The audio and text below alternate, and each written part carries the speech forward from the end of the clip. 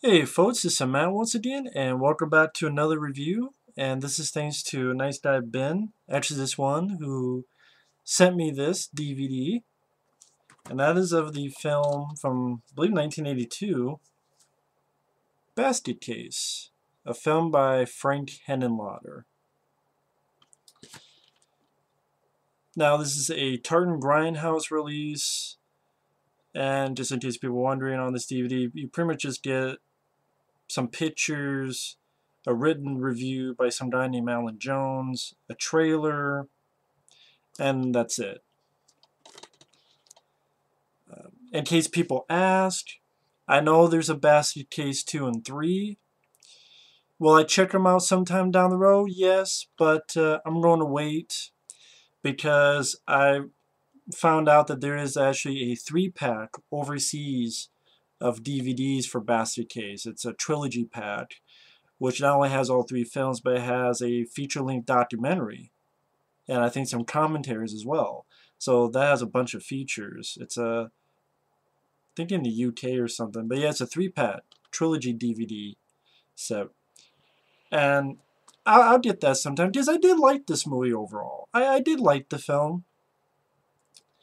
I liked it alright, and I on my checking part 2 and 3, but again, I don't want to see them online. I'll check them one day down the road when I grab that pack from overseas. But, uh, EvilDread.com, a wonderfully, a wonderful gory insane flick that ranks up there among the best horror comedies ever made. Well, I mean, it wouldn't be on my list for best horror comedies ever made, but there's still some stuff I liked about it. The next film I'll review, which is another film Ben has sent me, Frankenhooker.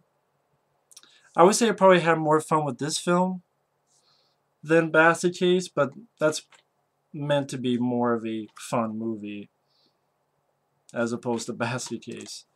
But Frank Henenlotter seems like an interesting guy. I know he, he didn't really direct too many films. He, the three Basket Case films, that film, and then two films called Brain Damage and Bad Biology. And in case people ask, I'll check those two out one day down the road whenever I grab them on DVD. Until then, um, well, oh well. But uh, Frank Henenlotter definitely seems like an interesting guy. Made some unique films. I mean, just the idea alone. I mean, you have this guy named Duane Bradley and when he was younger, the mom died in childbirth, birth, birth, and this guy and his brother were connected with each other, and the father was like, "Oh shit, we gotta, you know, fuck this thing, you gotta cut it apart. Maybe Duane will have a actual life, but you know, fuck this thing, cut it out. Who cares if it dies? Throw it in the trash." And you also find out that there's sort of a psychic bond where Duane can hear his brother, but we, the audience, don't hear it. He can hear him in his head. It's sort of a one-way thing, so Duane has to talk to his brother normally, but his brother can talk to Duane and in his head. Kind of nice little touch that we don't hear what he's hearing, so he'll be answering, and with the, okay, is this guy nuts? But it's like, oh, he's hearing his brother psychically, but we don't hear the words. And pretty much what they're doing is this brother here, Belial, he wants revenge on the doctors who split them apart. And pretty much almost killed him.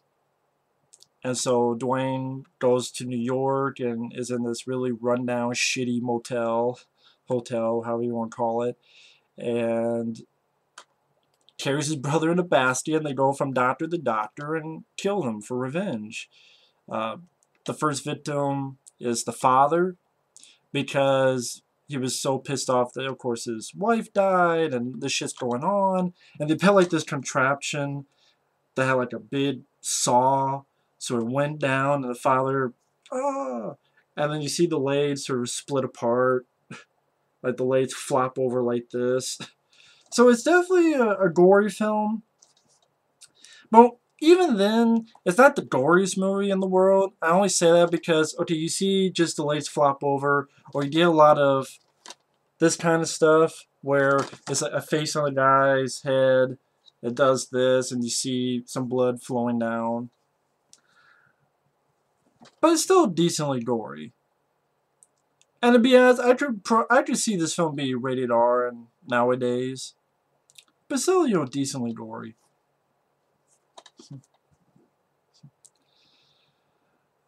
But yeah, I mean, it even starts out with a doctor being killed. His face gets fucked up. And like I said, they get into this hotel.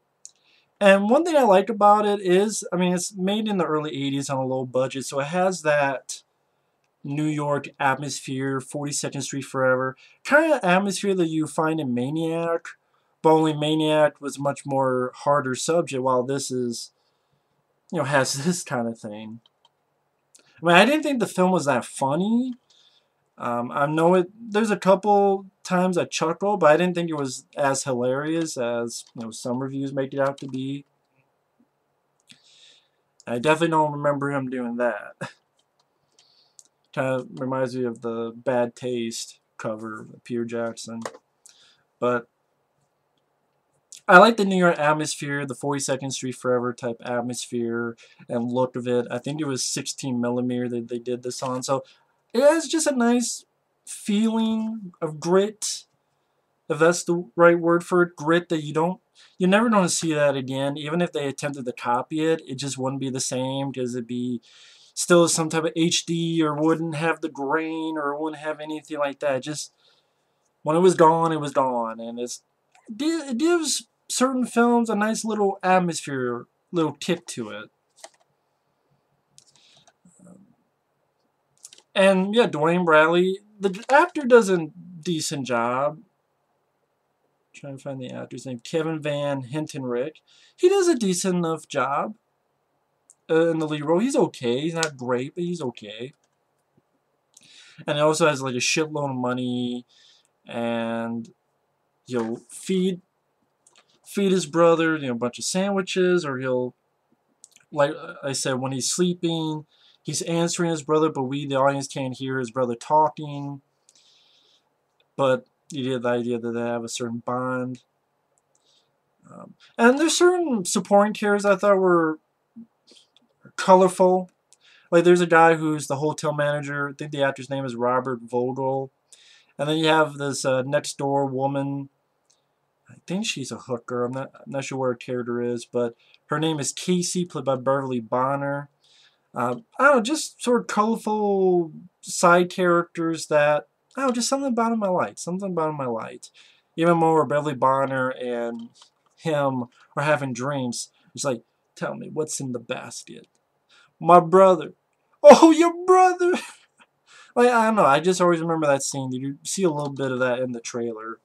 And that's the scene where later on goes into the flashback on how this all happened. But I think a reason this film has lived on is the idea itself. The idea that he has a brother who's seemingly normal looking, but on the outside, but is being damaged in the inside because of his brother. And in a way, his brother's abandonment doesn't want this guy to, for example, Aaron go on it, gets mad, mad and trashes the entire room when he finds out that his brother, this brother, is going out with a girl and went out on a date. And then when the brother comes back, finds actually Belial hid in the toilet because other people were came in to see what the noise was. And he tells, you know, Duane says, hey, I'm not going to abandon you. I've been with you this far. Maybe the film tried to make us feel a little bit sorry for Belial at the same time, I never got that connection that I was supposed to feel sorry for him.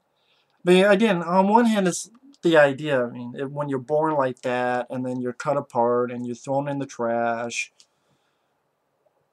Yeah, there's a, you have a right to be pissed. But at the same time, I don't know if, it's you feel a little bit of bad for this guy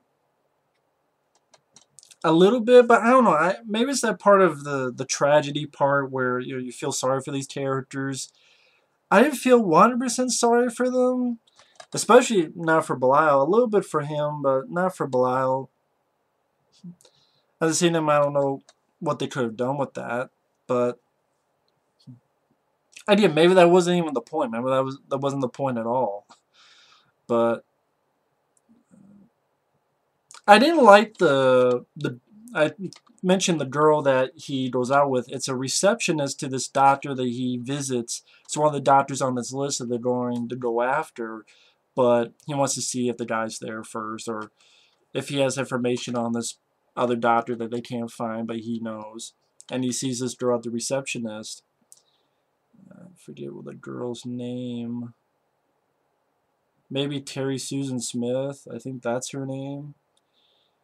I didn't like her character at all, and I think I don't know if it's the actor or the way they writ the way he was written because uh, she seems fucking schizophrenic because she's acting real nice to him, and he's like, "Oh yeah, this is my first time visiting New York," and she's like, "Oh, have you seen the Statue of Liberty? And have you seen this and that?" And he's like, "No, I haven't had time." He's like, "You haven't seen the what was it? So like." You haven't had time. You haven't seen the Statue of Liberty. Aren't you even going to go to blah blah blah blah? And aren't you even like Jesus Christ? Is this girl schizophrenic? Is she is she uh is she fucking gra grandma to raising Cain? John Lithgow? I mean, just she fucking split like a split lip? I mean, is she fucking cuckoo crazy for Cocoa Puffs? What the fuck is wrong with this bitch?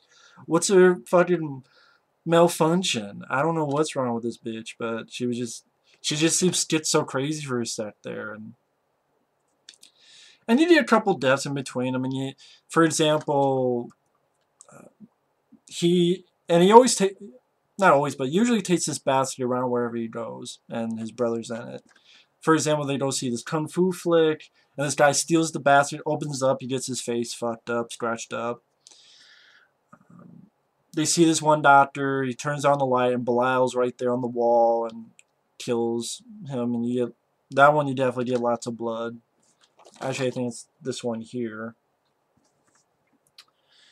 Um, again, Belial throws a shit fit because his brother finds out this because again he has a connection mentally with his brother. Finds out his brother's you know kissing, doing stuff. I do like a bit where uh, it seems like anything that happens in this hotel, everyone comes out and gathers around, and the hotel manager, the Robert Vogel, he has to get everyone to push everyone back. And I liked a little bit of dialogue he had with, what was it? Uh, what do I know? I just run this place. I know nothing. That's kind of something I I say myself. Hey, what do I know? I know nothing. That's exactly what kind. Of, and again, this I had never seen this film before, so that, again, that's sort of something I would say. I don't know. Hey, what do I know? I know nothing. It was kind of nice to see this guy say that.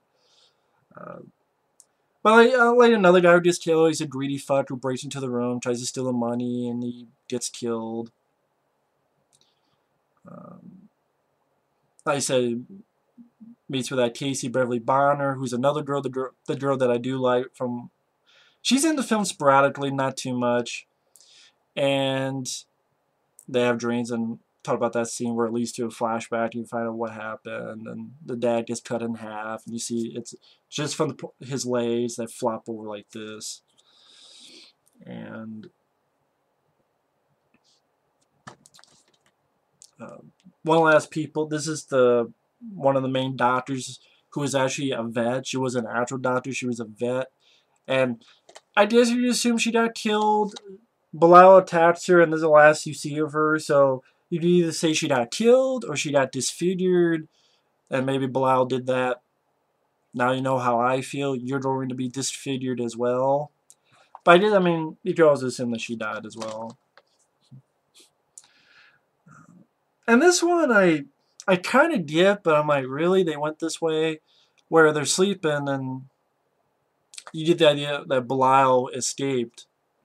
Because the, the woman, Duane Lights, you know, knocking on the door.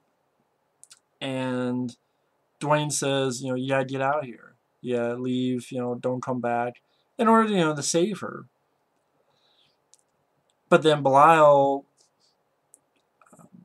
I just because he can get into his brother's head, knows where she lives, somehow got all the way over there. And Duane, this weird dream scene where Duane is running naked and you see everything balls out and all. I guess it was him in Belial's head because Belial, obviously, he's naked. I mean, you don't see any bits and pieces, but he's naked. And maybe he's thinking in his brother's head, like his brother's running across New York, and he's in his brother's head, but it's him picturing himself running across New York. I'm guessing that's how it was. Because then he wakes up, gets there, Belial killed the girl. Maya raped her because you see that, like, on her crotch, he's on her crotch, and there's a little bit of blood. So maybe you get the idea that he raped her as well, or tried to. Which, again, doesn't really get into the whole, if you want me to feel sorry for this one, then, again, maybe that's not the case. Maybe maybe you're not at all. Maybe just, fuck you, just go with the story pretty much they get into a fight and he jumps at him. Both go out the window. Looks like he strangles him and then they both fall down to the ground, supposedly dead. But again, the ending didn't really do much for me because I know there's two and three. I know there's two more movies where you have these two characters and in fact the same actor. So the ending is kind of like, eh, but at the same time it's like, I know there's the bullshit reason they're not dead, even though they fell to the ground and they look dead. Because there's a Basket Case 2 and a Basket Case 3. And whenever you can make a sequel, you can pull any bullshit reason out of your hat. Like a magic trick. But the film itself, I mean, it's not a film I would rewatch too much. But it is a film I would like to hear some backstory on, which again, it's if anyone is a fan of this movie and you have a region-free DVD player like I do, uh, there is a pack overseas, a three pack that's called a Basket Case Trilogy, which has a bunch of features, has all three films, feature length documentary. Again, whenever I grab that one day down the road, I'll do the review for the sequels, check them out. But there's still a very nice gift by Ben after this one. Very nice of him to do so. And I like the idea of the film. It wasn't too long of a movie. It was like 80 some, 90 minutes. Um, again, the whole idea that this guy's carrying his own brother in a basket, and you have some decent gore, you know, killing the doctors that separated them. You get little chuckles. I didn't like that scene where the one of the colorful characters, Bradley Bonner as Casey, she asks, you know, what's in the basket? And he goes, my brother. And just that whole little little bit and I think there's, there's a couple other little bits, but I didn't think it was hilarious. I, I would put Evil Dead 2 above this, and even Army of Darkness, which is not really horror, to be honest, but I put that above this. And, you know, Peter Jackson feels like Meet the Feebles, or even The Frighteners, or Dead Alive, or there's a lot of this. If this is a horror comedy, there's a lot of horror comedies I would put above it because again, it didn't really make me chuckle even the you know horror comedies that make you chuckle.